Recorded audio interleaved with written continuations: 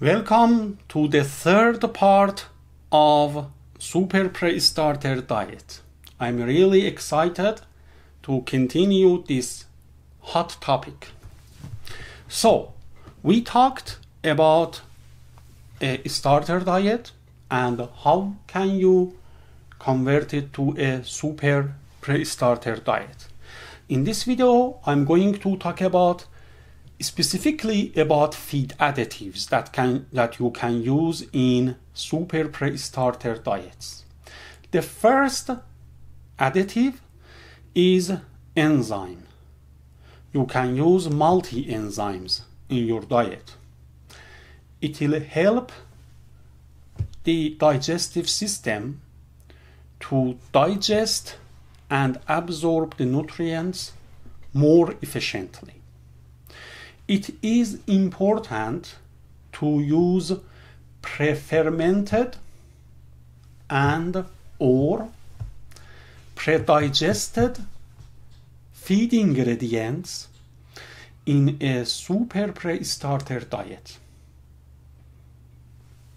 In addition to that, you need to use enzymes as well. For example, lipase. I would say the most important enzyme you need to use in a pre-starter and starter diet. Since the digestive system of young chickens do not have or let's say is not able to produce sufficient lipase enzyme. And in addition to that they really cannot form micelles, fat micelles, to absorb the fatty acids. That's why we need to use emulsifiers as well. I'll talk about that in the next slides. Next enzyme, xylanase, beta glucanase. These are some enzymes to, you know, get rid of some anti-nutritional factors if we have any in a super pre-starter diet which I hope we don't. Mannanase protease to increase the digestibility of protein. Phytase to liberate the trapped phosphorus and to increase its availability. Cellulase, amylase, to increase, you know, cellulase, uh, cellulose and starch digestion. And also, as I mentioned, we really need to pay specific attention to increase the fat digestion and metabolization in the young chicks. In addition to that, we really need to pay close attention to using synthetic emulsifiers in a super pre-starter diet to increase the digestion and absorption and metabolization of fat. So, from synthetic emulsifiers, we can mention soy lecithin, milk-derived casein, lysophosphatidyl or lysolecithin, bile salt, glyceryl polyethylene glycol ricinoleate, and also sodium stearoyl 2 lactylate. These are some feed additives, some emulsifiers that are to use to be used in a super pre-starter diet.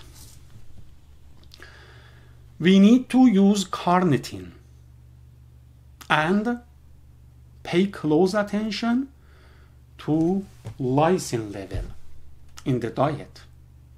Why?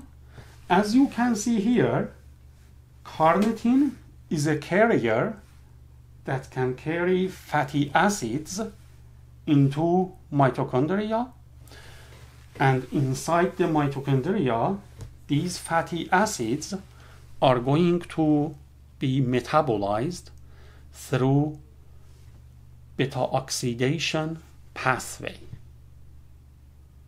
So we need to have that carrier on the mitochondrial membrane to get fatty acid and transfer it inside the mitochondria to be burned, to be metabolized.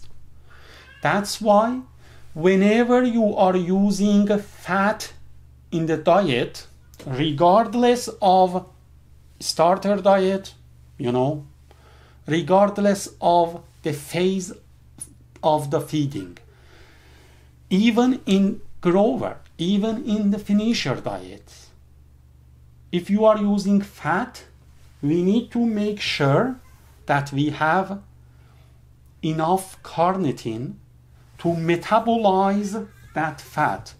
Otherwise, this fat will be a problem for your bird. So,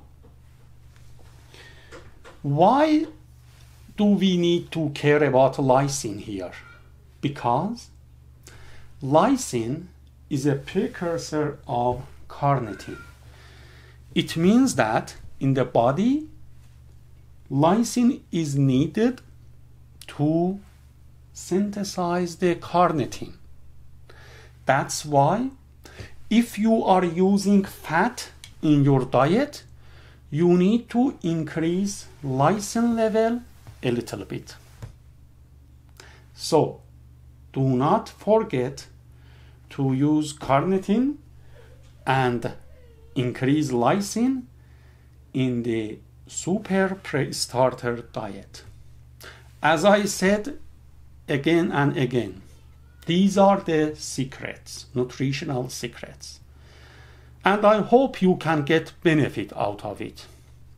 So, the other strategies that we use in feed additives in super pre-starter diets is to use probiotics and prebiotics. I talked about that in the starter diet.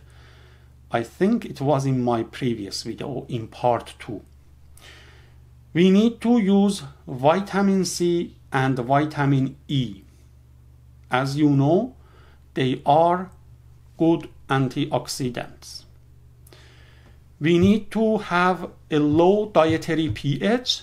That's why I recommend using organic acids, for example, citric acids in the super pre-starter diets. And also, we need to use phytogenic compounds.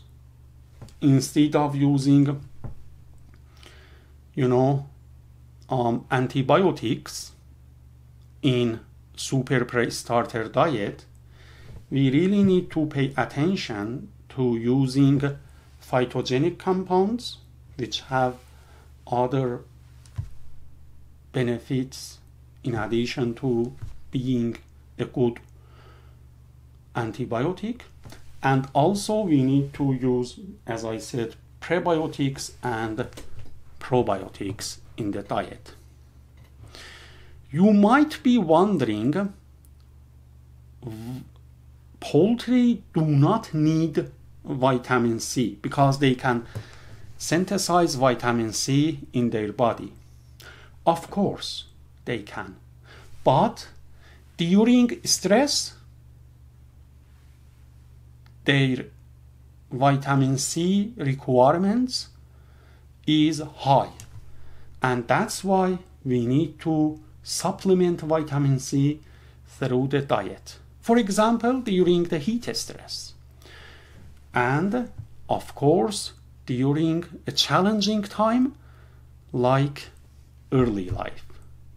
I hope you enjoyed this episode as well. And as always, let me know if you have any questions down there in the comments. And I'll see you in the next episode. Take care.